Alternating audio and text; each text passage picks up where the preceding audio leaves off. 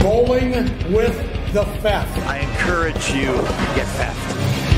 What? All things the game of bowling. Helping bowlers. The hand collapses down. And I'm going to try to bowl the best I can. 1,000 subscribers. And I want to challenge Ted Nelson. Tom Corbett. Jason Belmonte.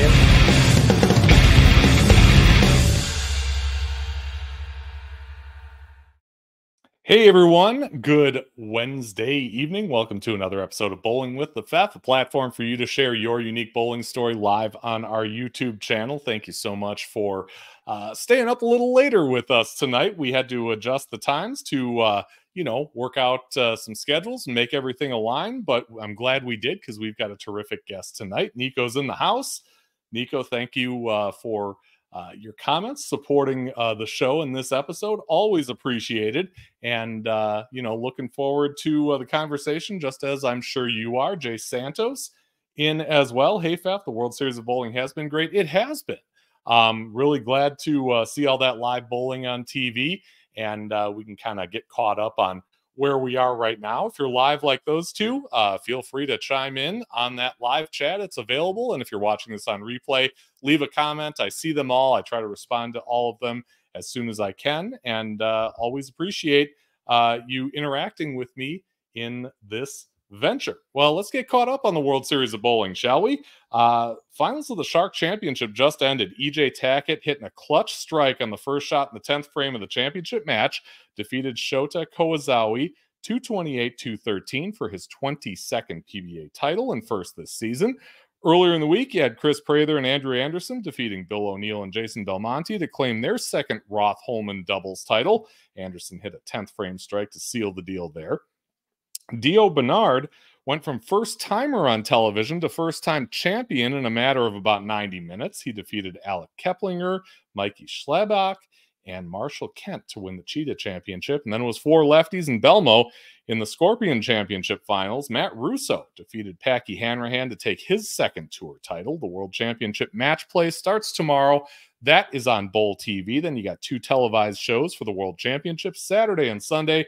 The play in round 6 p.m. Wisconsin time, Saturday on FS1, and then the finals 11 a.m. Wisconsin time on Sunday on Big Fox. Looking forward to seeing all of that. USBC Senior Queens in Las Vegas, Nevada. Kathy Ledford of Boise, Idaho, defeating defending champion Dana Ausec twice to take that title. She squeaked by 213 to 206 for the first win then put up 247 in the second game to win the $8,000 first prize going away. The ladies bowled a total of 15 games of qualifying and the top 31. And Ausec, who was the defending champion, advanced to a double elimination match play bracket to determine the stepladder finalists. And Ledford came out on top in that stepladder. Linda Barnes mentioned to me at the Masters that she'd be bowling the 2024 International Golden Ladies Classic. And then she goes and wins the whole darn thing, uh, the senior division anyway. Uh, the, that championship was held on Friday.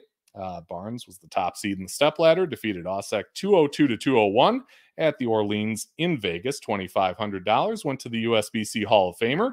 Then you've got Barbara DeMorist winning the super senior division and $1,000 there. She defeated Karen Barkall 222 216 in that championship match of that stepladder. DeMorist is the mother of episode 66 guest Jeff DeMorist. So it's no wonder those results are on tournamentbowl.com. If you watch that episode, you'll know that he is the brains behind tournamentbowl.com. Uh, Billy M saying, Hey, oh, hey, thanks for joining us. And Jay saying, EJ representing the one handers. He loves that. Uh, Linda Barnes, a class act. Congratulations to her.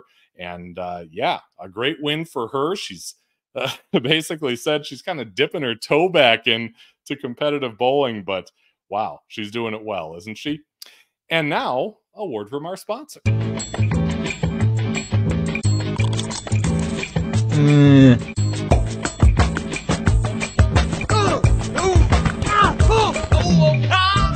Raise your snack standards. Chip Magnet Salsa.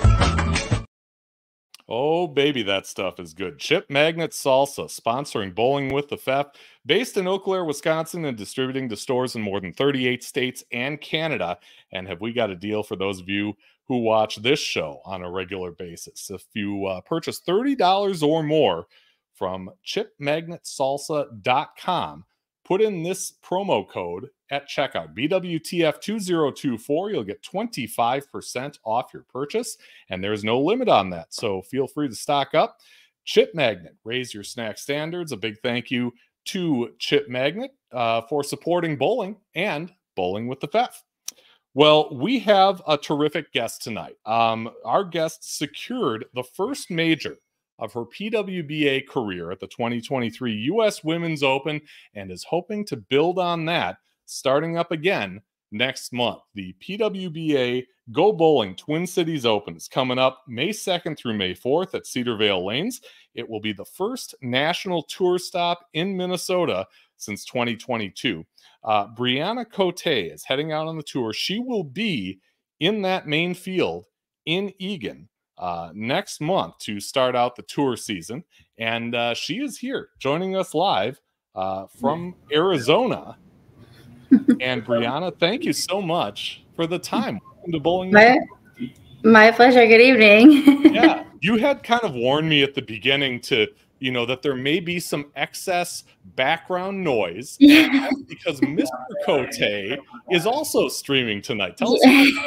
Yeah. about that. yeah, he decided to, um, you know, just stream. He likes to play video games, you know, with his friends. And he was like, I think I'm going to start streaming. I'm like, okay, whatever, go for it, have fun. And so he's kind of doing this. If you hear some screaming in the background, hopefully that probably means that his gaming is not going very well. But, okay. um, or dogs barking because he's playing with them. So, um, but yeah, that don't mind it. Nothing to be alarmed. It's just, Sure. you know, my Yeah. husband and, and his dog having fun. So. we, we are a household of two cats, so I totally understand, you know, pet interruptions. It happens. It does. The show goes on though. It's all It it's all good.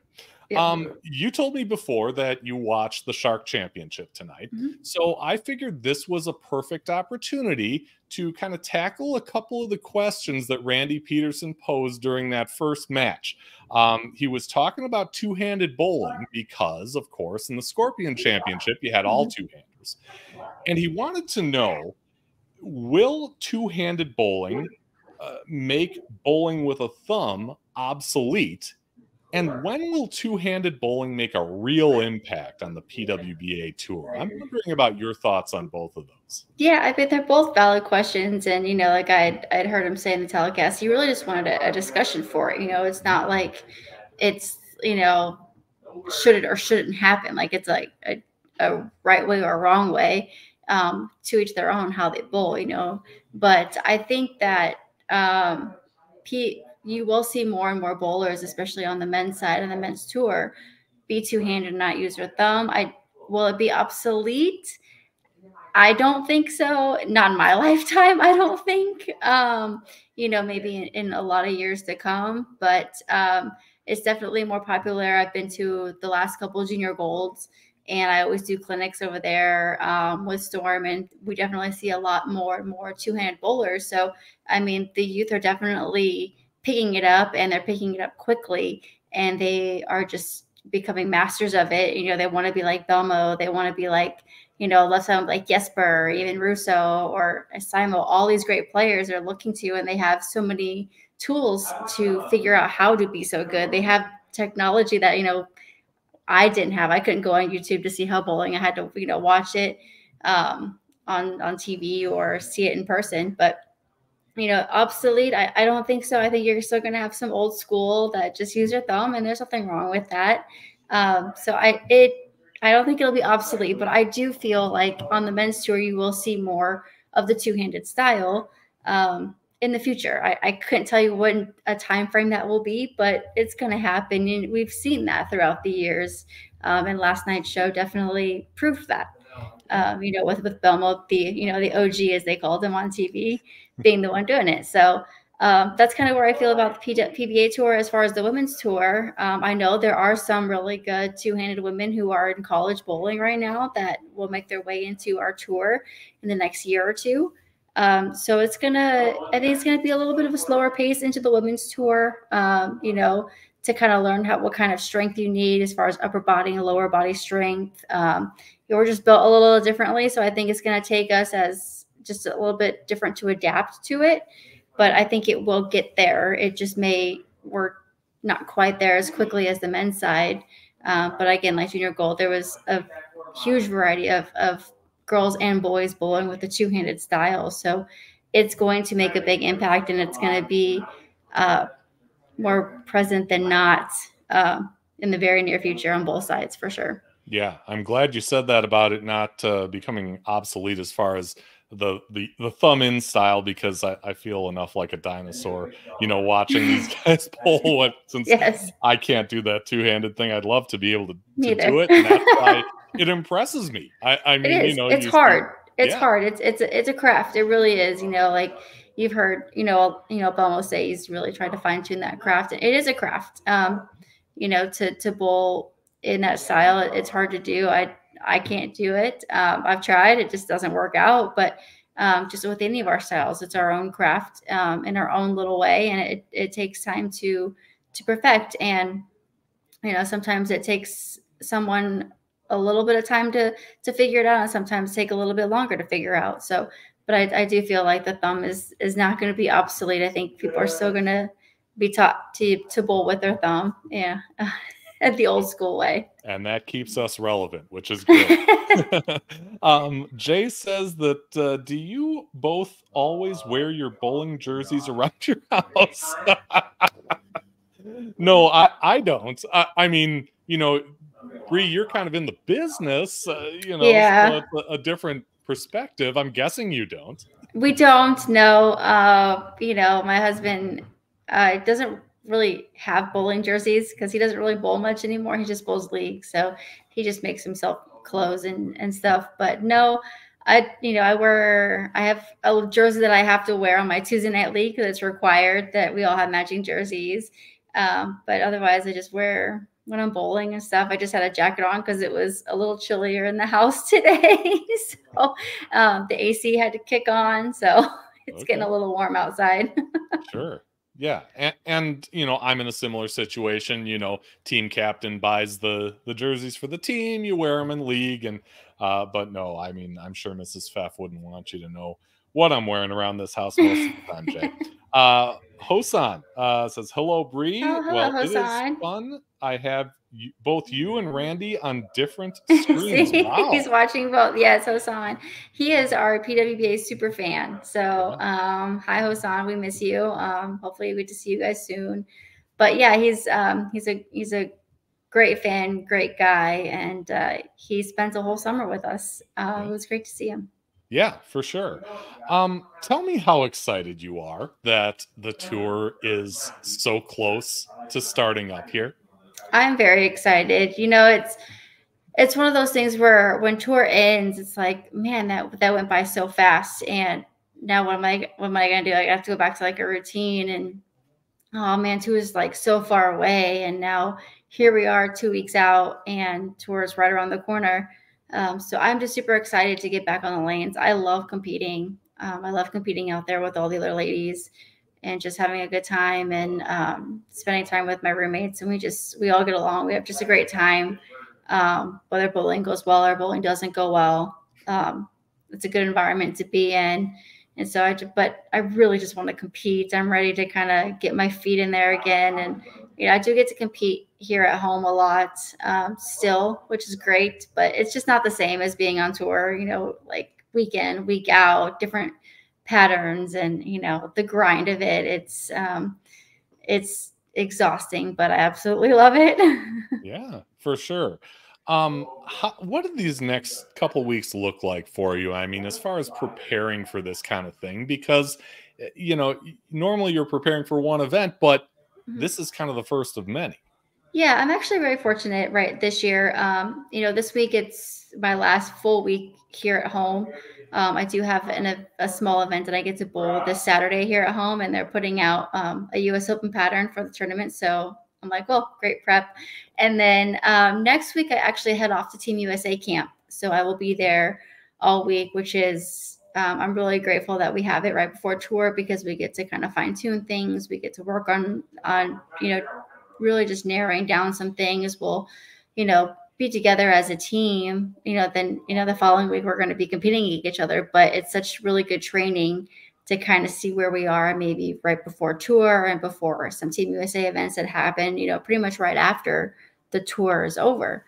Um, so it's I'm really excited that I have you know that coming up and i have access to those coaches um, as well as my teammates to prepare myself as best as i can mentally and physically for the weeks to come on tour yeah timing couldn't be better with uh, all that stuff coming up um you know i mentioned that uh the last uh you know tour event in Minnesota was in 2022. Um, I happen to have some video from there because I was I was there on site as uh, that was going on. If it would actually pull up, there we go. Um, so you know, tell, tell me what you know about Cedarvale, what you've learned about it. I mean, you know, this is a house you've bowled in several times, and you did make the final five in 22. I do, yeah. I've actually made the show here twice. Um, I like this place.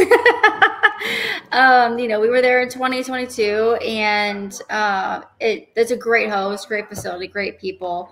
Um, they treat us very well, and you know, it's it's just a it's a bowling community, you know, where we are in Minnesota. So um, I'm really looking forward to going back and seeing, you know, how it's been, and you know, the lanes have treated me well in the past, and I'm hoping that they treat me well in the past like they did. So um, the last time we bowled, I think we bowled on a little bit of a longer pattern. Um, I can tell you I was throwing a hypercell fused. Um, I threw that ball pretty much the entire time. Um, but yeah, it, it's it's great that we get to go back there and kick off the season there. Um, like I said, Ian's just a great host. We've been there a few times. You know, the crowds are always great. The programs are really good. Um, we've had live shows there. We've also had bowl TV shows there. So um, you know, it's just really excited. That's where we get to kick off this this 2024 season to somebody that someplace that's kind of been home, I would say, um, since the relaunch of the tour. For sure. And uh, you know, you you mentioned first stop of the tour. We have kind of a new element this time, right? You've got a PTQ in this, and of course, Yeah. you'll be in the main field with all your your past success. But how does that kind of change the landscape? Maybe for the the women that you're competing against, as far as having that extra step for some of them to get Mhm. into the final. Yeah, definitely. I mean, having a PTQ, um, it's different, but it's also um, kind of a, a good problem to have. That means we have a lot of interest. That means our events are selling out. That women's bowling is growing, and you know that's that's our goal. Is we want women's bowling to be big, and we want to have all these people join the PWB tour and give out all these titles. So, but yeah, it it is going to be, I think, different for maybe some of those individuals who maybe came out of college and instead of getting right into the main field like those maybe in the years past, now they have this extra step they have to go through, which is a PTQ of eight games. I think it's eight games.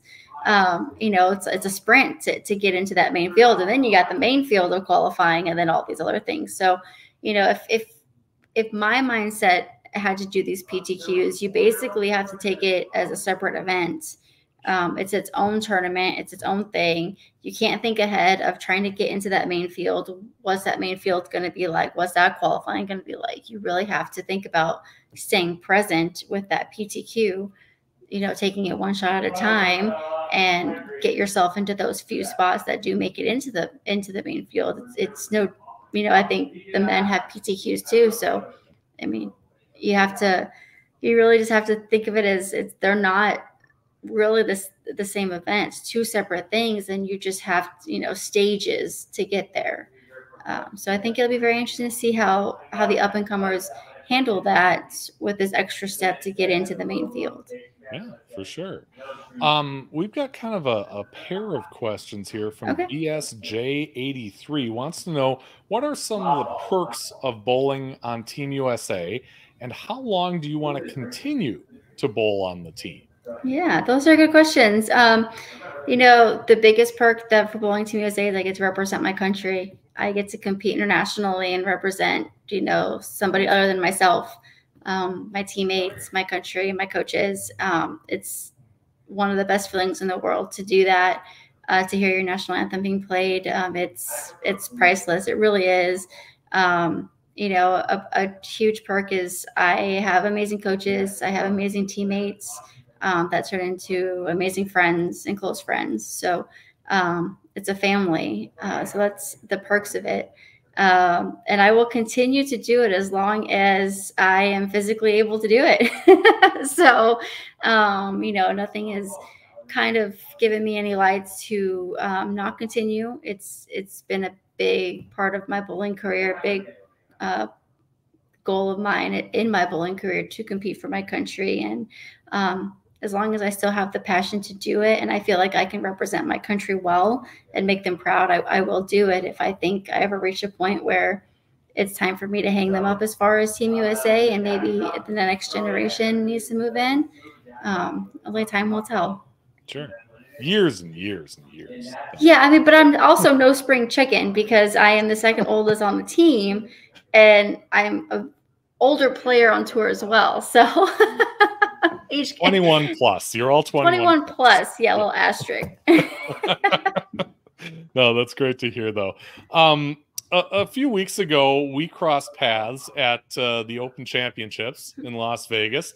Um, I, of course, kind of stunk it up through through the course of the the three events, but I caught you on uh, on, on team day. Uh, you, oh, said that, you, said that you weren't doing so hot at, no. at that point, but uh, tell us about how you kind of made out after the thing was said and done. Yeah, you know, Open Championships, um, it's it's hard. Uh, I'm not gonna lie. It's one of the harder events that I do participate in. Team event was hard this year. They hooked a lot. Um, I don't think I was um, on top of the moves as quickly. I think as a team we could have done some things to um, maybe break down the lanes a little bit better to make them a little easier on ourselves for a team event. Um, but doubles and singles was much nicer. I was able to bowl so much better for doubles and singles. Um, I bowled one squad of the Bowlers Journal. Um, so yeah, I. But it's with anything, you know, you get one shot at it, and it is what it is. You know, like yeah, I wish I could say I bowl great all the time, but that's not true. Sometimes I'm not going to bowl good, um, and then I just looked at all right, team event wasn't great. Um, not a not a good day. Let's hopefully the next day is better, and it was. So, uh, but I had a good time with the people that I bowled with, and um, I also got to to watch the Masters during my downtime and uh, cheer on some friends from home. So it was it was still a great trip. Yeah. Um, because of that, I, I figured, you know, that was kind of a good opportunity uh, to ask somebody we both know, uh, Theo Dothe, do they? yeah, do they? Uh, about being your teammate. And uh, he, he, he told me that being a teammate with you is great, having someone with experience and knowledge that you have. How can you not want that on your team? Aww. And uh, he says he can't count the number of times that he's been lost game one. You help him with one or two minor changes, and boom, he starts scoring. Yeah. Um, yeah. Tell me about kind of your your mindset and, and your role on a team like that. Yeah, I, I mean, you know, like I, they're my teammates and even our companion team, and we had four teams there. I mean, if any of them needed help, um, and they want to ask me my opinion, I'm, I'll give it to them. And if there are my teammates and they don't want my opinion and things aren't going well, I'm probably going to say something to them. But, um, you know, I've bowled with Theo for a long time um, through youth bowling up until now, and Theo is left-handed, so uh, I can see the left side of the lane too, which is um, it benefits him. And sometimes if I'm bowling against him, which is not very often now because he's more like a tournament director, which I'm grateful for. Um, I don't help him now if I have to bowl against him, but I'll help him if he bowls with me. Uh, but yeah, I mean, I have no issues helping anyone. Um, same thing kind of happened last night at league. I was bowling um, league and this younger kid uh, came up to me and he goes, "Hey, do, do, you mind helping me?" And I was like, "No, not at all. I mean, how how can I help? If I can help somebody else get better, that's you know something that I can offer to the younger generation or my friends or just you know I I have all this knowledge. I might as well share it. I'm not you know just bettering the sport and bettering them at the same time." Yeah, you uh, you mentioned the, the Masters. Uh, I was there too. Um, tell me who you were cheering for out there. Was it Cortez? Yeah, it was Cortez. Yeah, Tezzy. Um, you know, he's a great kid. He's watching him. he's he's he's a kid. He's a freaking baby. Um, he's, but you know, watching him bowl, and you know, last year was his first like full year on tour. You know, he's had a lot of personal things happen in his life, but to see things start to come together and to see him um, put the pieces together and it really start to pay off is is just huge. You know, and he's been practicing so hard um, and really trying to figure out how it is to bowl on tour because bowling on tour versus bowling at home in league or local tournaments, they're completely different. They they they don't even mix. So you really have to learn to bowl on tour. And I had a conversation with him kind of towards the end of last year saying, you know, you really need to to sit down maybe with your tour reps because their environment is so much different than us and just say, hey, like what do you see? What am I not seeing? You know, how do I bowl out here versus when I'm at home? Like the equipment is different. It's just just a very different atmosphere. So to really see him have that success and and bowl so well, I mean, it was just really exciting to see because, like I said, he's he's not only a great bowler, he's he's a fantastic kid and he's a fantastic young man, but he's a kid to me. Um, and I do get to bowl with him a lot, to bowl against him a lot. I've bowled with him a lot. So I just, I really enjoy him as a person and um, seeing his success is just, just made me proud, you know, just glad to see that. Yeah, the reigning PBA Rookie of the Year, and he's got a Mm-hmm. terrific physical game. If you He does. He really does. And he's worked really hard on it. Yeah. Um, Hosan says, "Don't worry, uh, Shannon P is still here." Yes. And and if Shannon P retires, then I am the oldest. but I have known Shannon since I was like 10, 11, 12. I, we grew up together since she is originally from Phoenix. Um, so um, I've Shannon's been like my big sisters my whole life. So um, you know, when she retires, it I'll have to take on the oldest. But I kept like, "You're still here, Shan." She's like, "Yep, I'm perfect." yep, for sure. And uh, BSJ83 wants to know which bowlers did you look up to growing up? Yeah. So my um, my idol growing up was Kim Terrell Kearney. Um, Kim Kearney. Some people just know her as Kim Kearney now, but um, I I just admired, you know, her the way she held herself together when she bowled, her poise, her physical game, um, and she's just a great person. And as I got older in my bowling career, she was my junior Team USA coach, and now she's my Team USA coach, and and now she like it's just crazy to see it come first full circle because she'll text me and you know like our, our relationship is more like a personal as opposed to her being my idol but um, she's just a great person and she's the one that i really um, just admired so much as far as as the bowling um, on the ladies tour you know pre the relaunch so and i bowled a pro am with her um, and it she just like she just stuck in my mind and she just changed my perception. I just like I want to be that when I grow up, you know. And so I aspired to be someone like that. And then unfortunately there was a hiatus, but you know, I still made the most of it and thankfully it came back. And um, but because of that, it still gave me that passion, that drive that when it did relaunch, that I was gonna do it, no questions asked. Yeah. You always hear that cliche, you never want to meet your heroes. So to meet one of your heroes Mhm. and have her be a great person, I mean, how cool is that? Oh, it's it's it's amazing. It's yeah, because we, we not everybody does you know get to meet their hero. Their it, sometimes it's their paths don't cross. Sometimes it's too hard. Maybe they're too famous. Sometimes they pass away before you get the opportunity. Um, but to be able to have her like in my circle um, as someone I looked up to as a kid, and now that I as an adult I can still look up to and still contact if I need help. It's um, it's surreal at times um, if her name ever shows up on my phone. So let's get into your bowling story. I got to start out with, you know, the basics. Are you originally from Arizona?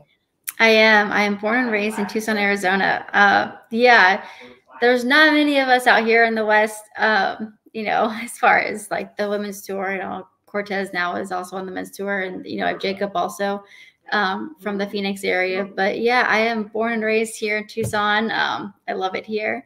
Uh, minus my time in Missouri for school, but um, yeah, I am originally from here, and I intend on staying.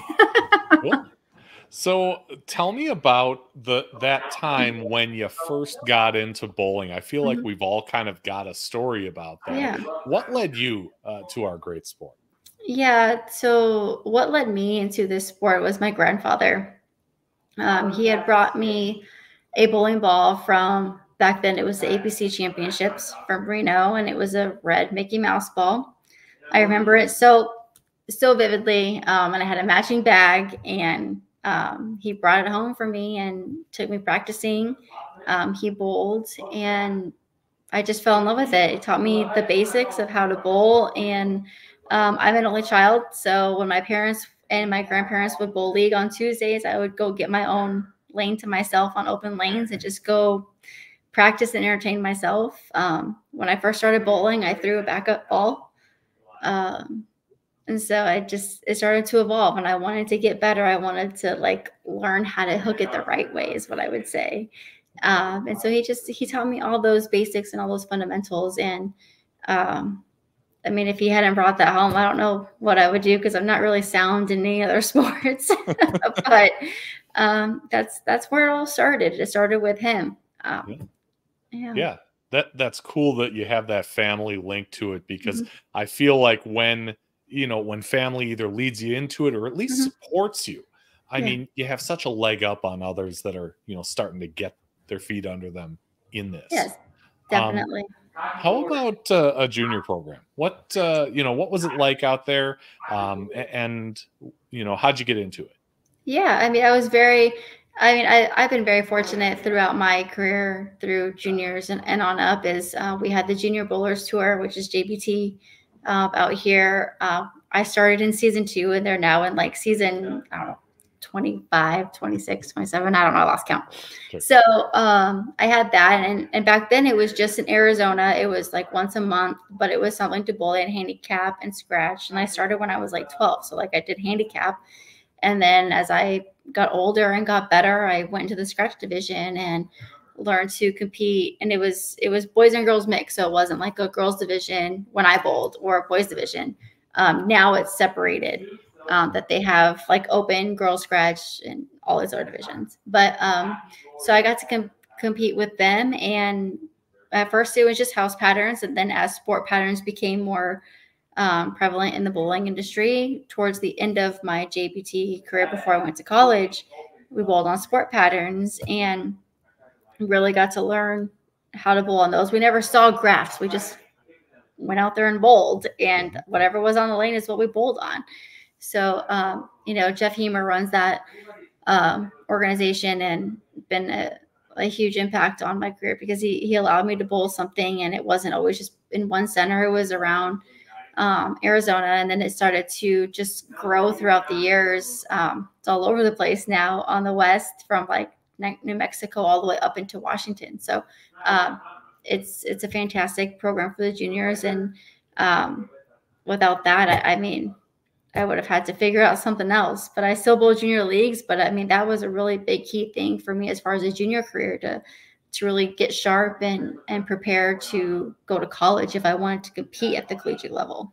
Yeah. Was there any opportunity to bowl for a high school? Uh, not really. When I was in high school, um, high school bowling wasn't really a thing. Um, it's kind of a thing now here. I know it's a lot bigger. I would say more in like the Midwest and, and back east than it is, um, at least in Arizona. Um, so it really wasn't much high school bowling for me. I really didn't bowl anything as far as like team related until I went to college. Hmm. Um, so everything was always singles. It was always against the guys. Um, there weren't very many um, female bowlers at my age because Shannon was, you know, four years older than me. So we we had a pretty good gap. Like when she was a senior in college, I was a freshman. So Oh. we had a, a good gap in our ages that uh, we we did compete against each other as junior, but she was still so much older than me, and I still had a lot of catching up to do. so, um, but yeah, then she went to college, and you know, I really wanted to go to college too, just like her. Um, you know, I visited Nebraska, I visited Central Missouri, um, and then ended up at Central Missouri for, for college. So Yeah. yeah.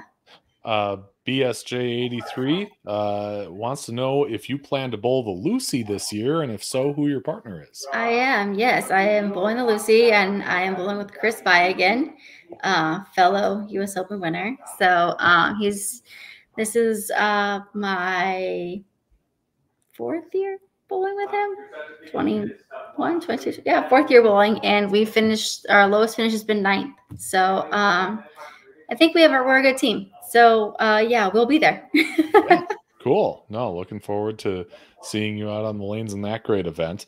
Um, you mentioned, you know, kind of going to Central Missouri, and tell me about that process. I mean, was it a deal where you sought them out, or did they recruit you?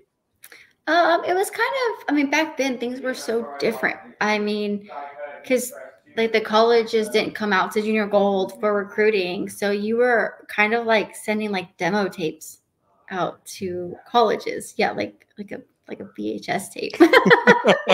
if you guys don't know what those are, you might have to Google VHS. I, I've Um, got some spare ones I can send. okay. but yeah, like I mean, that's kind of how you had to do it because I graduated high school in 2004. Mhm. Uh, so like I was looking at like 2000, the summer of like 03, you know, is when like I was really looking at colleges, and I wasn't like I wanted to go to college, but I wasn't sure about college. I knew I wanted to bowl, so um, I I sent out some tapes to um, I think it was Wichita, Central Missouri, and Nebraska. Um, you know, those were the dominant ones at the time that I bowled. You know, Wichita was still uh, more on the USBC side. You know, I know now that they're going to be NCAA um, next year, but um, and then of course Central Missouri and Nebraska were the dominant teams as far as NCAA. And so I looked at both options, but when it came down to it, I really wanted to bowl NCAA. Um, I really wanted to be a student athlete as far as an NCAA organization. So it just came down to Nebraska and Central Missouri. And when um, it was all said and done, Central Missouri just felt like the right choice for me, and that's where I landed. Um, completely different uh, environment than being home. I will tell you that. yeah, you've got a little little more change in season there. Uh, yeah, I yeah, a lot of seasons. Um, a lot of weather that is very temperamental, um, cold and humid. But yeah, I, I made sure I went home on breaks. Sure. Yeah, I was in uh, in the collegiate game maybe about I'm gonna say maybe five years before you were uh, mid late '90s, and it always it always felt like those directional schools in Missouri Mhm. always kind of found a way. They always Yeah. found a way to be relevant. They always had a couple really good players. Yeah. Did you were you aware of the history there uh, of Not- you know bowling? No, I literally knew nothing. Um, I knew because I had seen them both with the national title in 2003 and again in 2004, and I was like, well, they don't look like a bad team. Let's like, let's look at it. And I, I, I was a late visitor. Like I didn't visit them until February of 04. So like, which was probably not the best time to visit them because it was so cold. Um, but it was during a time I had off for school which Tucson is the only one that I think has this. We have rodeo break. Um, Oh. so we get two days off in uh, February for the rodeo that I don't go to. Um, but um, that's where I went. And then I visited, I met, you know, Coach Holmes and the girls that were there. And I really, it just felt like home. And so that's where I ended up going um, in the fall. Yeah. What was your coach like? Um, you know, in my experience, smaller school, no Mhm. coaching, da da da da da. Yeah. So I'm always interested to hear about the coaches that you know that helped you kind of grow your game and how they did it. Yeah, you know, Ron Ron Holmes was my coach then. He still coaches there at Central Missouri. I'm still very close with him. Um, you know, he he took me on and um, I would say in college I was not the most tactful person um, when it came to I mean I had to learn how to bowl on a team. I was, you know, a big fish in a little pond and I always bowled individually. So I had to learn to be a team player. Like I was a good player, but I was with the first semester I was competing against my teammates because I was like they can't beat me. You know, I just I just didn't know how to bowl on a team. Um, and so I quickly had to learn how to bowl on a team and be a team player. And he helped me learn that and, you know, help me fine tune, you know, spare games and, and just being aware of maybe lane patterns and what bowling balls do. So um, he's played a huge part in, in that throughout my college career. And, you know, it's now come full circle because he asked me for help now. And if I have any opinions or if I see things or how the game's been evolving, because he's, I see it in a different environment than he does. Um, so it's good that we still have that relationship, you know. Um, and it's it's he was a great coach for me, um, you know, and I'm glad that I was able to to be there for four years. I enjoyed my time there. Uh, we didn't win a national title, but I had a lot of success there, and um, you know, the program, you know, paid off for me, and it, it helped me lead me into where I'm at now. Yeah. I mean, you're kind of underselling it when you say, ah, I had some success because you had what's possibly the greatest collegiate career of them all. First bowler in NCAA history to be named NTCA Player of the Year four consecutive years, All American all four years. I mean, for somebody who had to come in and kind of, you know, as you describe it, learn the team aspect of the I mean, it, what worked out so well for you? Yeah, I I don't know. It, it's funny and like I hear my my accomplishments and I remember doing a podcast with um, Emil Williams for excuse me PWBA a few years ago, yeah. and he was like, "You were good in college," and I was like, "Yeah, I guess." And I guess it just kind of came to mind because I was sitting next to my retired jersey that they had retired when I was still bowling. and it had like my little nameplate of all like my accomplishments and i was like looking at it and i was like oh yeah. But uh, once i got past the you know stop bowling individually and bowl as a team like i just wanted to bowl good for my team and i wanted to bowl good for us and i wanted us to win i wanted us to win a national championship. Like it was just so built into my mind that i wanted to bowl good for all of us. So i think the success of you know all all tournament teams that i got all the mvps that i got the player of the years, the the All Americans, was just because I was so goal driven on trying to do so well for the team um, that they just came secondary. I I didn't really think about. I stopped looking at trying to be the MVP of the tournament. I stopped looking at trying to be the All American. They just kind of happened. Um, you know, I'm very fortunate. I will tell you, I had 26 all tournament teams. That it's a lot. Yeah. now that I look at it, I'm like, oh my gosh, that's a lot. But I again, I I didn't realize it until it was all said and done because I stopped being like the individual player. Um, but it did take a lot of time and um, and my best my best friend to this day, um, Sarah, she'll probably tell you that I was the worst teammate in the world until I learned how to like be a teammate. Um, but she was there for it. Yeah. That's awesome. No, Connor Brown in the chat saying, "Hey, Fef and Bryanna, one of my absolute favorites." I, I would think you know we're both your absolute favorite because between us, we have 26 all tournament teams in collegiate bowling. Oh, that's a 13 tough each. Act. Just wouldn't know. That's a tough act to follow. Yeah. Um, BSJ83 uh, asking who you think will be the top challengers for PWBA and the uh, Player of the Year in 2024. Maybe mm. right there. I mean, I I put myself in contention, but uh, I am not one that is like a goal like oriented or driven person. Like I don't say I have to I have to finish here. I have to place here. I have to win an event. Like I just want to bowl and be consistent, stay present. Um, but every year it it's kind of different as far as like who's in the running for player of the year. Could it be the same people as last year? Could it be new players? Could it be up and comers? Like I, I don't know. I I still think you're gonna have you know the veterans still you know putting names out there you know i'm hoping that you know i'm in contention you can never count someone out like danielle mcewan liz johnson you have the defending player of the year the the which is jordan richard i mean what she did last year was absolutely amazing she's one of my best friends and it was just an awe to watch it um, you could have someone like diana zavjalova who came pretty close to trying to win player of the year maybe trying to prove to something. You know, there's eh, then you have the up and coming collegiate players that maybe want to try to make a name for themselves. Some people have success right away out of college and just shoot up into the spotlight and start winning everything. So I, I think it really there's so many names. Like I can't just give you like a handful. I mean, there's you know, I, I'm not gonna not put my name in the hat though, because I've done it before. yeah, that's for sure. Yeah. Yeah, I, I think what you're saying is these people need to get their butts over to Eagan and uh, and see it. for- yeah, I mean. I it, you got to come out and compete, and um, as long as you're out there and you're you're competing, and it really is, it can go to anybody. for sure. So you finish up college. As you mentioned, the tour was kind of in a hiatus. Mhm. So what did you do? What did you bowl?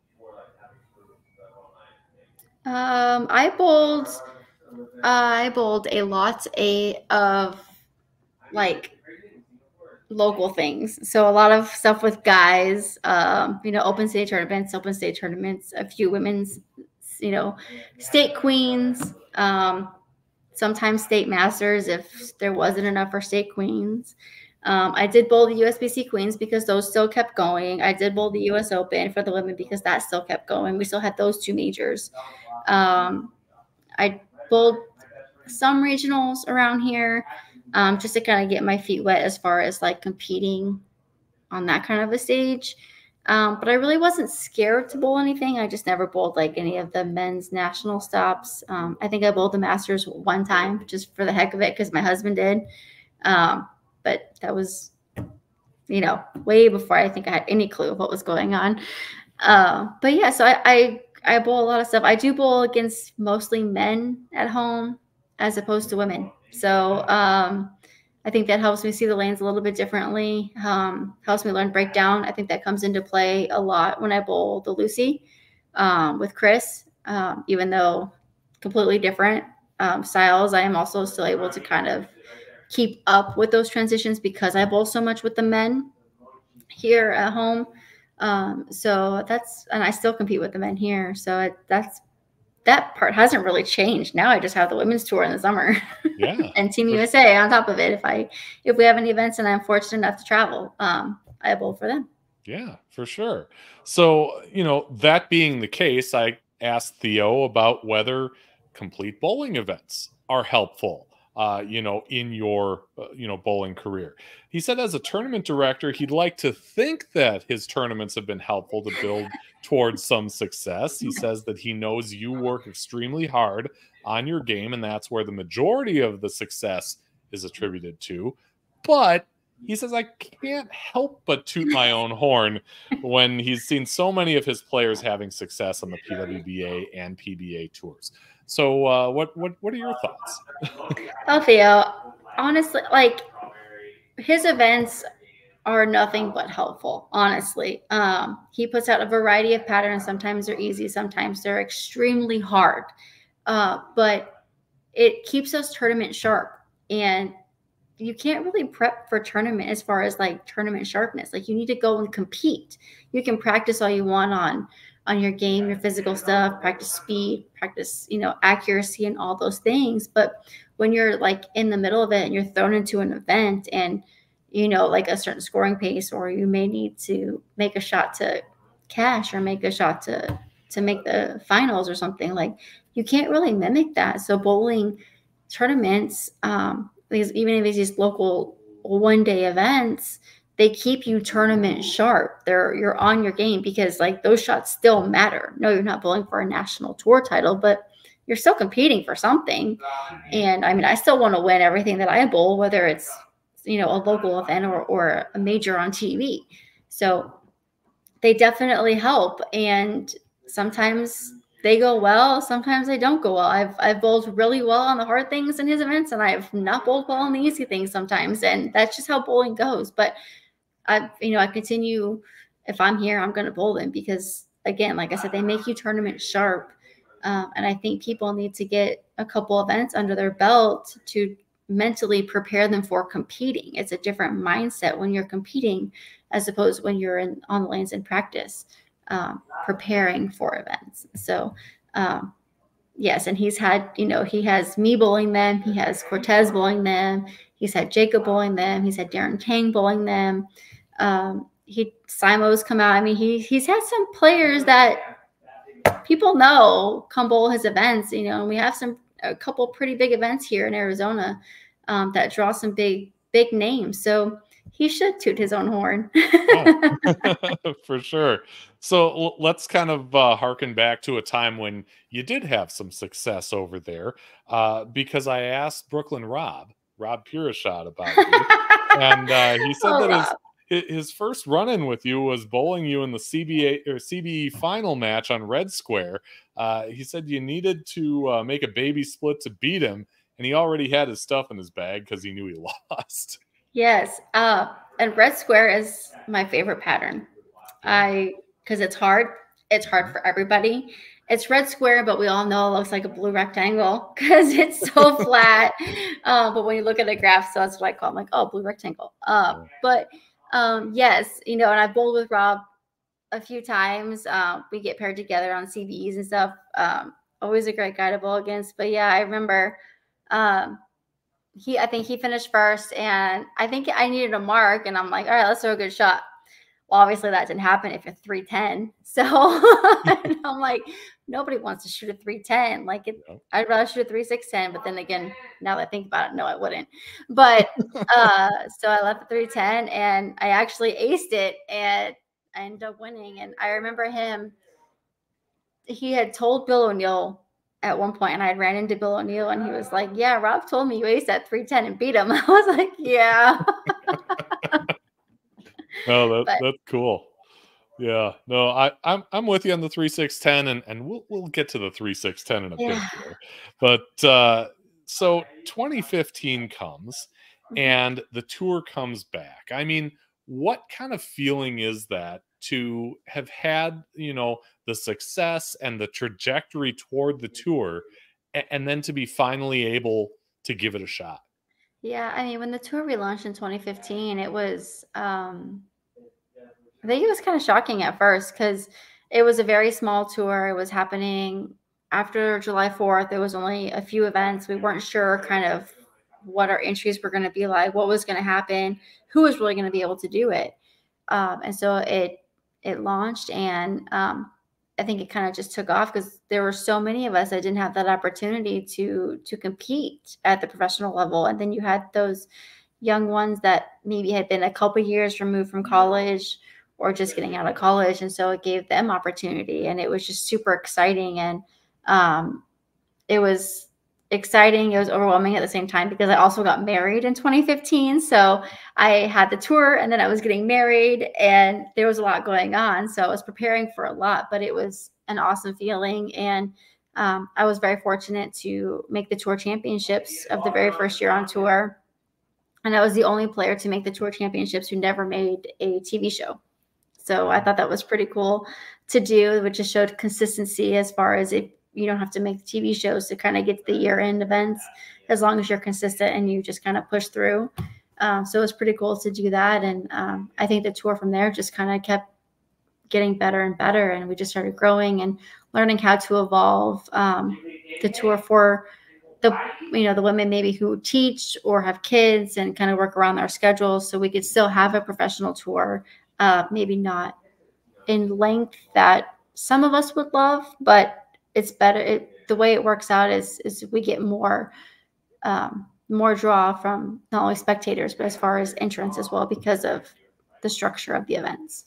Yeah, and I'm glad you brought up the scheduling part because I was going to ask you have all this history on Team USA, you're still consistently making the team. I mean, is there any conflict between the tour and these times when you're bowling for our country? Um, I mean, thankfully, no. Um, they've done a really good job. You know, most of the Team USA events happen, you know, in the fall. So, you know, we wrap up usually in August. Um, so there is events later this year. So it, it, works out really well that they don't conflict. And that's kind of why we have Team USA camp the week before, just for the women.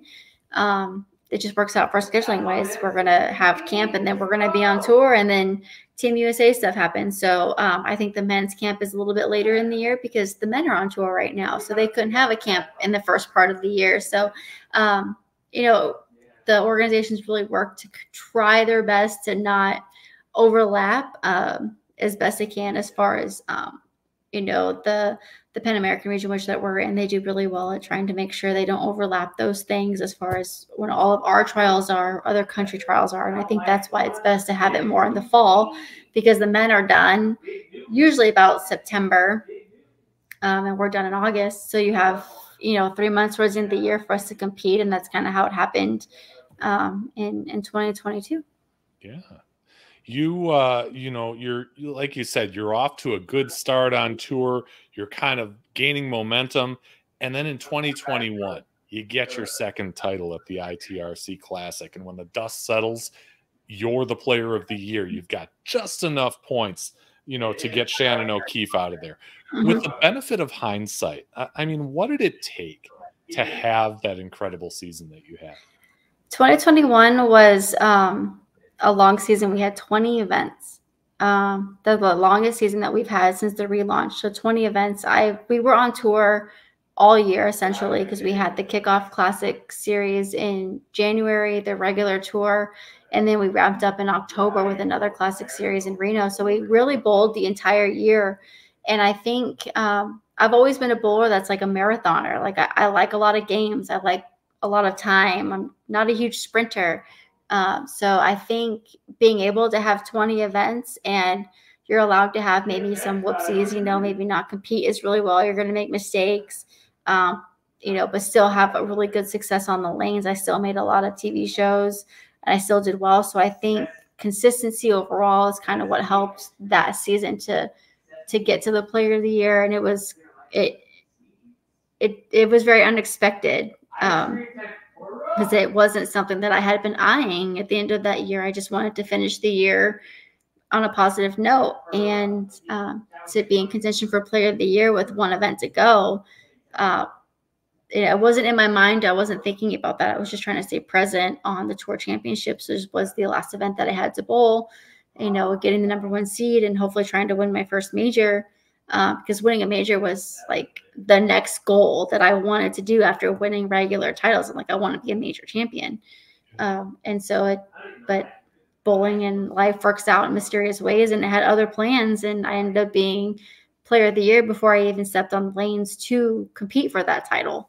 because um, everything was so close and so tight. But again, that's I think that's the beauty of also the women's tour. If somebody asks who's in contention for player of the year, well, it can come down to the very last event and make it super exciting. It's it's a lot different than the men's tour because ours is just strictly points. It's mm-hmm. whoever has the most points on top, they're player of the year.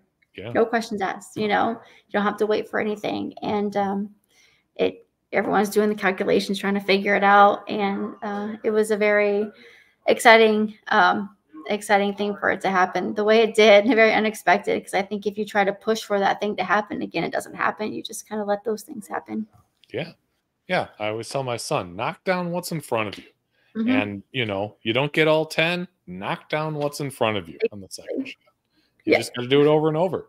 Um, and, and, you did, and, and, you met that goal a couple years later at the at the U.S. Open this past year.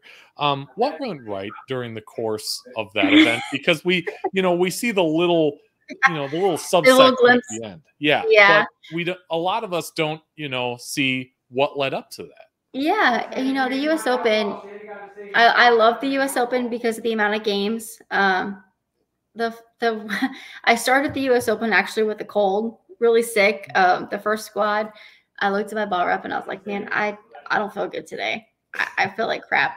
And maybe that helped me striking. And I bowled really good the first block, but I somehow got like a cold for like two days and it started to go away as as the week went on. But I always know with the US Open, it's going to be tough. Um, it's going to be about shot making. It's going to be about spares.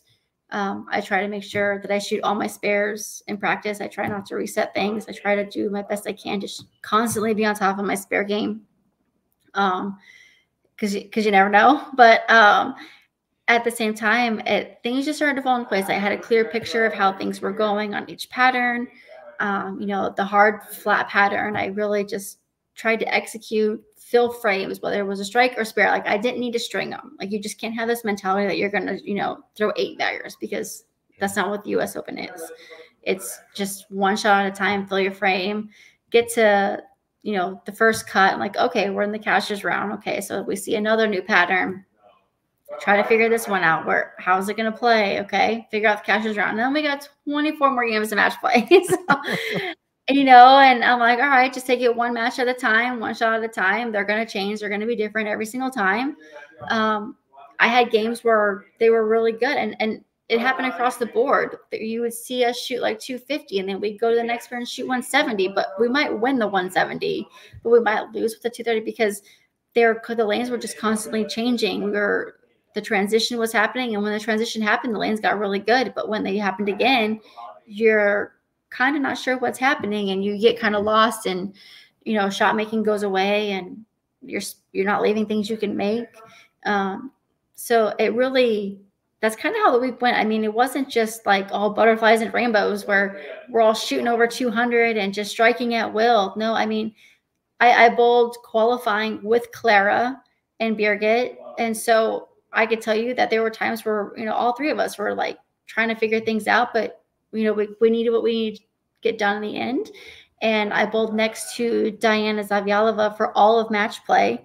And we same thing. You know, we had really good games. We had games where we were just grinding for 180 and um, trying to figure it out, just trying to get the win to get 30 pins and try to stay plus. So uh, you don't get to see that on TV. You really don't. Um, and then you get to the TV and you know the first couple games are a couple are just kind of two O's and nothing great. You know, so it, it really it was a long week, but the TV show doesn't really show you the the big picture of of the week that we had, I should Yeah. say.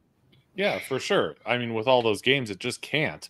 Mhm. Um, I, I do want to kind of put in a plug for folks. If uh, if you like what you're seeing here, please consider liking and subscribing to the channel. I'm trying to get to 2,000 subscribers. I'm a little ways away right now, but hopefully, with your help, uh, you know, clicking on that logo in the bottom right and uh, subscribing to the channel, uh, it will certainly help me continue to make this content.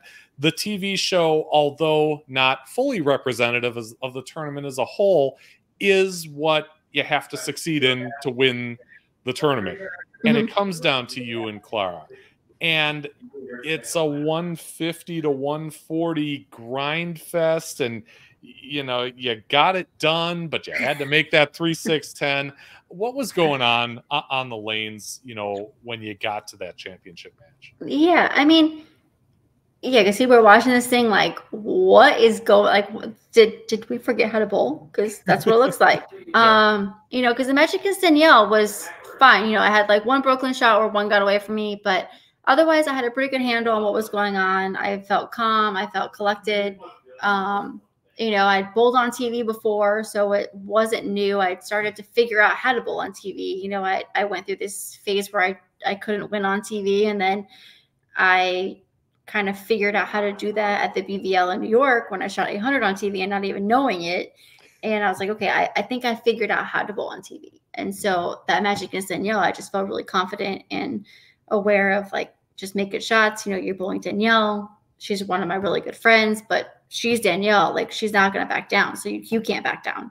Right. Um, and so that was that mentality against her. And then go to the championship round against Clara, same thing. I mean, Clara, again, great player. She, you know, she's done so many things in the sport. You know, you can't count her out either.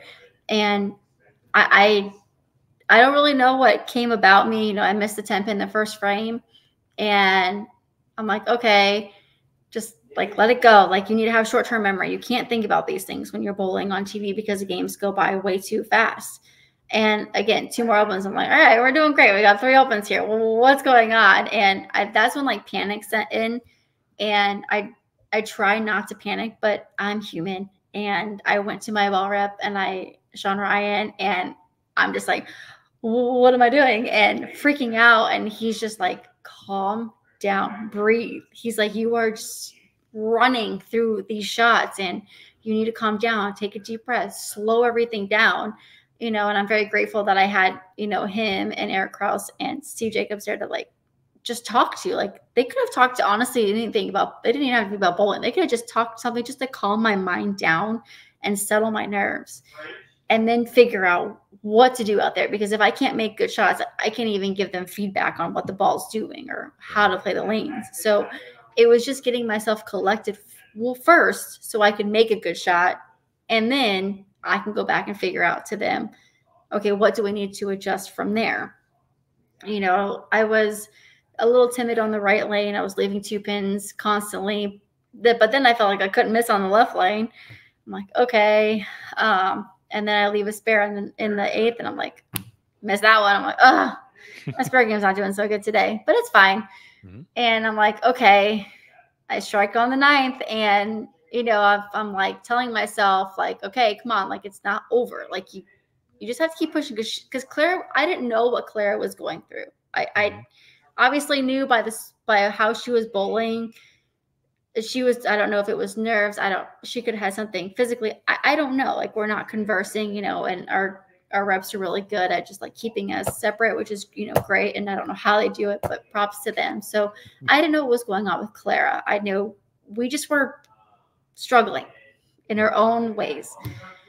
And so i she's doing her own thing and then i realized that I'm going to make a ball change in the 10th frame. Uh, and, and because I was like, okay, the, even though I didn't make the spare in the eighth frame, I felt like I threw a good shot and I felt like I did exactly what I needed to do. And Sean was like, it, it's just not it. Like, you can't throw that ball anymore. Like, you cannot. And I said, You're telling me that I have to make a ball change in a 10th frame for the US Open title. Like those those were my words to him. And he goes, "Yep, throw the reality check." And I said, "Okay."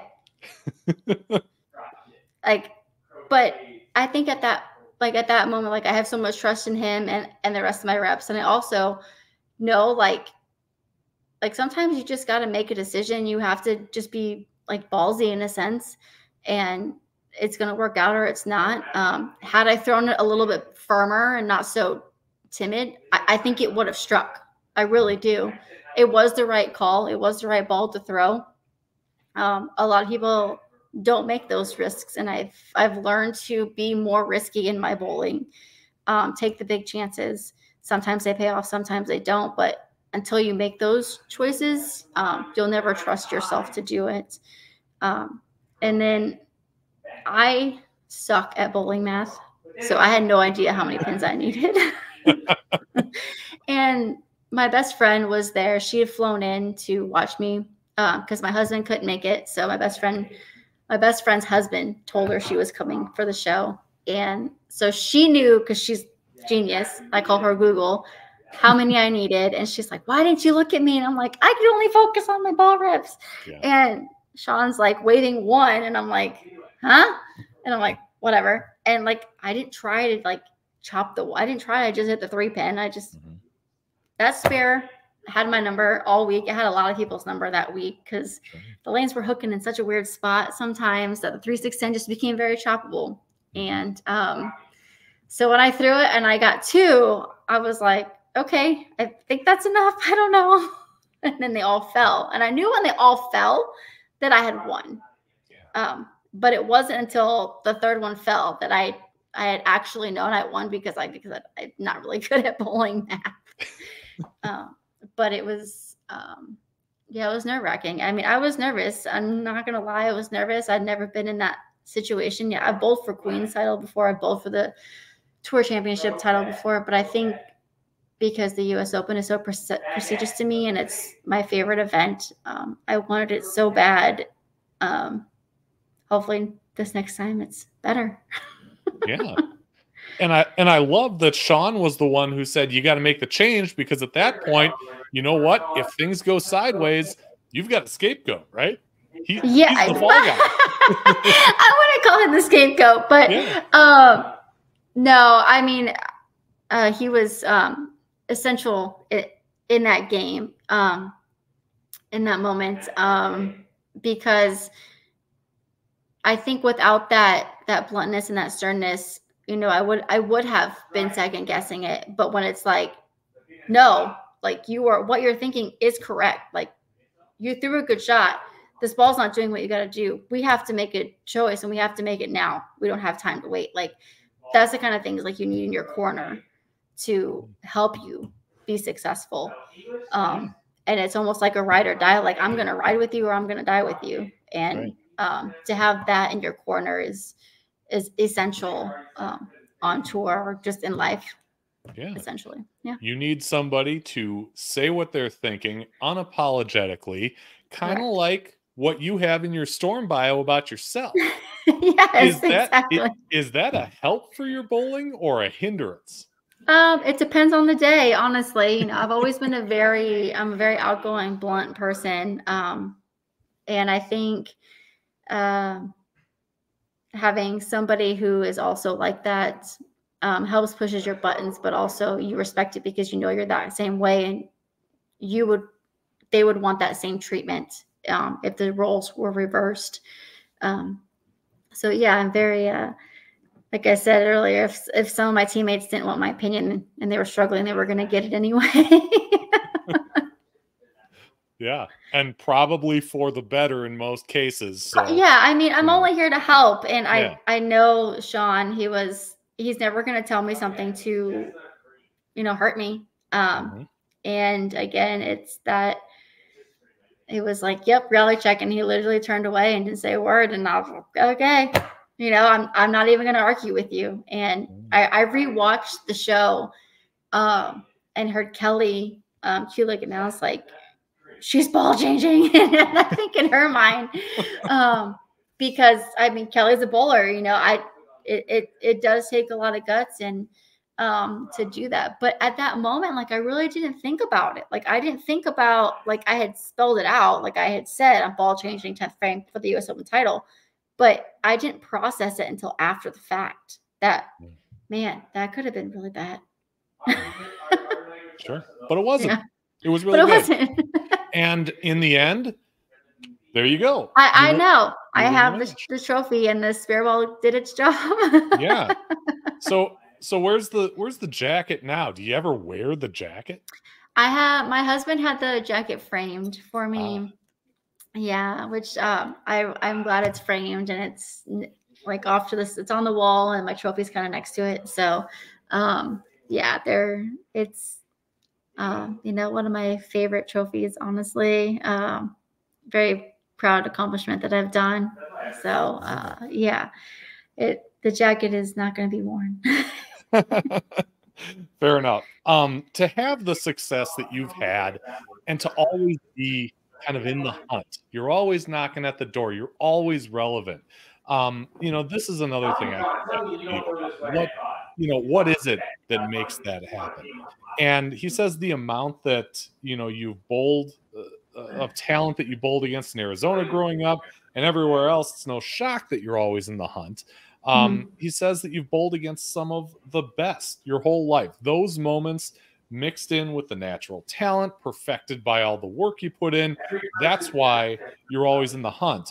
And a lot of people will say, I put in the work. I put in the work. I'm sure you you say the same. What does that mean for you? What is putting in the work in your eyes? I mean, I think putting in the work um, is just accumulation of of everything that I've done from the time I started bowling through my junior program, through college, through prior to the tour, through even the tour itself. I mean, the tour makes you evolve as a bowler as well.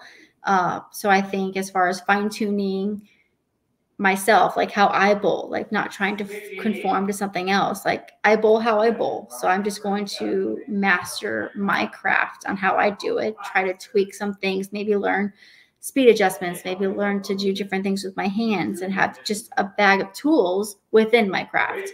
But I feel like my biggest, um, I think, asset over the last four years is mental. It's a lot of it is mental. And I think I've looked at bowling in a little bit of a different way as far as like, yeah, I'm to have good days, I'm to have bad days. Um, but I can't let some of the bad things really dictate that time or present or like or the future. Like I really need to stay present everything that I do. Uh, and like I've said before, you really have to have short term memory. You you can't dwell on it like it's gone. Like like I may have flagged a ten pin, but like whatever, I have like 80 more frames to bowl. I I can't think about that. I can't be mad about that. I have to try to figure out, you know, the next frame, the next shot. And so I think having a really strong mental game of just staying present, um, yeah, you're going to get frustrated. You're going to have emotions, but how you control them, I think, is what really shows how you perform on the lanes. Um, don't make things happen. Let them happen. Just just bowl. You know, like my husband tells me all the time, like just bowl. Like don't think about anything. Just bowl and just let kind of everything your your physical game just kind of falls into place. So I would contribute most of my success honestly to my mental game. Um, and and it mostly just came of like like no matter what happens, everything's gonna be okay no matter if I win, no matter if I finish last, everything's going to be okay. Um, and that kind of hit home when like my husband told me that, like after I had like a really bad day a few years ago. Um, I think it was sometime, actually, I think it was in 2021, sometime where he was like, you know, like, you don't have to prove anything. Like, we don't love you less if you bowl bad. You know what I mean? Like, it, like, at the end of the day, you're going to come home. It's going to be okay. And I'm like, and like i just kind of hit a switch in my brain like you're right like i i just need to go and bowl and do what i love. And as long as i'm doing that and i'm consistent at it like everything else is going to fall into place. Um, so i've kind of had that mentality over the last few years and then the last two years i've had a lot of loss in my life as far as like family and best friends. So i think that also opened up my eyes to um, you know anything can happen at a moment's notice and just because I have a bad game, like it it doesn't ruin my life. It doesn't ruin this this day. Um, there are worse things that could happen, and so I, I just kind of look at it as as I'm doing what I love, and I'm gonna do the best I can today. My best today may be better than tomorrow, but it's gonna be my best for at that time. Yeah and the totality of your career is already being recognized. You mentioned your numbers retired at Central Missouri. You're part of their Athletics Hall of Fame. Uh, recently, you got into your Association Hall of Fame. I know what that's like for all of us. Oh, yeah. Yeah, that makes sense. yeah. What's it like for you? Uh, I mean, it's pretty amazing. Um, you know, to to have my jersey told my jersey was retired while I was still competing was kind of crazy um, and then to get inducted into the Athletic Hall of Fame at Central Missouri. Um, I went in as a as a team first, and then I went in as a player individually. Uh, so it was pretty cool to be recognized, um, especially for bowling, because a lot of people don't think about bowling as like an athletic thing. You know, it's a big athletics as far as as collegiate, but um, it was just very. Although they should. They should. they should. But you know, it just kind of was like, oh, like it made me appreciate you know, it's like being recognized. I just I I was grateful for it. And then um this this year I was inducted into the the Tucson Hall of Fame, and it, this was the first year I was actually eligible to be elected based off the requirements. Um, somebody nominated me, and I was inducted immediately um, by or voted in immediately by the the committee, and um, I was kind of in shock, honestly, by it because I was like, "Am I old enough to to be in the Association Hall of Fame. Like I wasn't sure. Um, like I just didn't think about it. Like I didn't think I should be in yet. I, I don't know. I feel like I still need to do more things. Um, but I was very grateful and honored uh, that they allowed me in the first year I was eligible. And um, so yeah, I hope maybe one day there'll there'll be more Hall of Fames in my future. Yeah, yeah, for sure. So uh, you know, I've kind of alluded to it a couple times. You have too. That uh, along with you know, all the things you do competitively speaking in bowling, you're also in the industry. Apparel EFX uh, is the company. Online, it's EFX CO. How did that all start for you and your husband, and what has it turned into now? Yeah, I mean, I'll be 100% honest with you. This is my husband's baby, his bread and butter. Um, you know, in 2014, he was like, I think I'm going to learn how to, to design things. And um, he taught himself how to design jerseys and design images. And um, then it kind of just started taking off that he was going to make bowling jerseys. And in 2015, when the tour relaunched, he was like, Well, you're obviously going to wear our jerseys. So we got product registered with the PWBA. And so we've been, you know, this year marks 10 years that you know EFX has been around that he's he's done, and it's like I said, it's his it's his baby. Um, I'm very proud of him for what he's done, and you know we don't just do bowling, we do other sports as well, um, and it's it's you know it's trying to be like a sportswear as opposed to like a bowling jersey company. You know we have all these other different things that you can get, and it just he just had an idea one day and and uh, went with it. And he's just been evolving ever since and teaching himself to be a businessman and always trying to to find a new venture in this business. Um, bowling is our backbone, and I think that's because of of our background, honestly, being bowlers. But um, you know, it's he has his dreams for it to be to be big one day, and there's no doubt in my mind that he'll he'll do that. And uh, like I said, we've been around for ten years, and now we are able to be on the PBA tour. So, um, you know, trying to to get integrated into other sports um, with other athletes and influencers, and to just be like a sportswear. It's it's definitely growing and taking off, and uh, I just kind of sit there in awe and watch him. Um, yeah. I'm just here mostly for moral support and administrative duties um, with my background in my dad's company that I actually work full time for. So, um, I, but again, it's just um, very proud for what he's done, and um, he makes my jerseys look good. So yeah. And, and we could see that firsthand at the uh, at the OCs, you know. But you got to have, you know, like you said, you got to have new ideas. You got to keep, mm-hmm. you know, evolving with the times. Yeah. You know, here's my branding idea for you. How's how do you like that? Ah, that's smart. Look at you. I see what you did there. I see what you did there. That's smart. Yeah, yeah. I'm I'm a I'm a marketer nine to five, so you know yeah, I kind of I mean, hey, can't get away from that. No, but uh, no. Uh, so how long do you keep doing this? I mean, I know it's kind of a you know question, but mm-hmm. you know you're successful on tour right now. You obviously like what you do, otherwise you wouldn't be so excited about the new season coming up. I mean, is there is there any end in sight? Not that I can see. Um, you know, I love competing. I, I love to bowl. I I love being part of the industry. Um, you know, I've done coaching clinics. I've done things with junior gold. So not only do I love competing, but I also love being able to give back and, and to do things in, in the industry. Um, so I, I, don't see me stopping anytime soon. Um, I've had my fair share of injuries um, as I'm aging. So until my body tells me I can't uh, do it, um, you know, I think I'm going to do it as long as I possibly can. I'm definitely still going to be involved in the bowling community and in the bowling industry for as long as as long as I can. So whether it's on the lanes or off the lanes, um, I don't intend on stopping anytime soon. That's great to hear because this sport is definitely better with you in it. Um, yeah.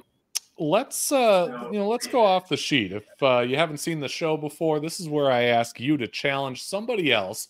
Doesn't have to be the greatest bowler in the world, but certainly can be uh, to mm-hmm. appear on a future show. Uh, so we interview them all high average, low average, medium average, mm-hmm. right hander, left hander, two hander, women, men, all colors, races, and creeds. Uh, Bryanna Cote, who would you like to see on a future episode of Bowling with the Fef? Who I would like to see is um, the Better Russo, Lauren Russo. Okay. and I only say better Russo because somebody in the audience put Lauren Russo as a better bowler on oh, the TV on show. The I, yeah. I think it was her player's mom, but I challenge yeah. Lauren Russo because I think you'll have a great time with her. Uh, she's a great, she's a great person. She's a great bowler. Um, this is going to be her, I think, her second full year on tour. And if it's anything like last year, I think um, you're going to see her do some amazing things this year. Yeah.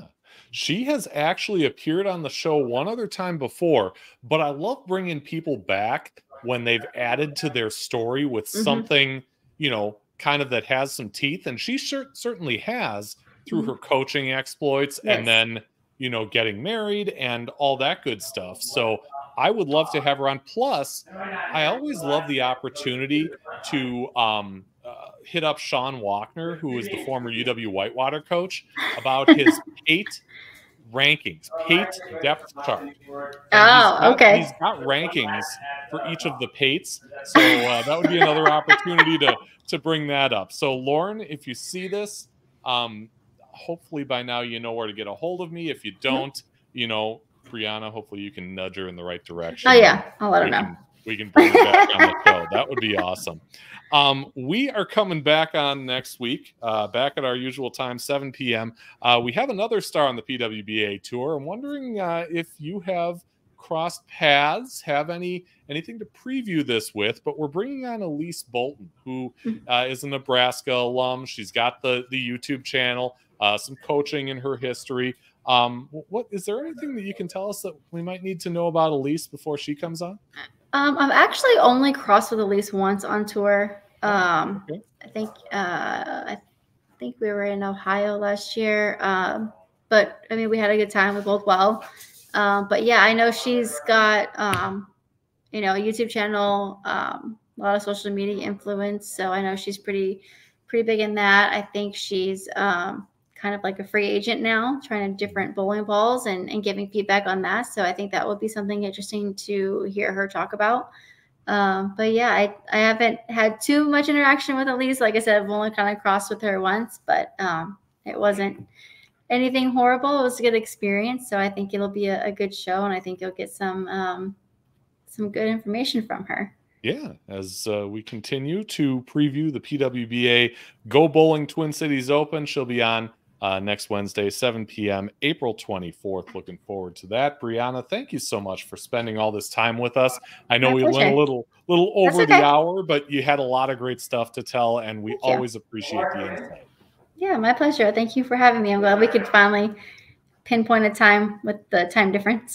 yeah, yeah, it, it worked out well, uh, and uh, you know, like I said, you know, happy to do this. You know, a adjust time for guests because the stories are great, and uh, it's certainly worth it.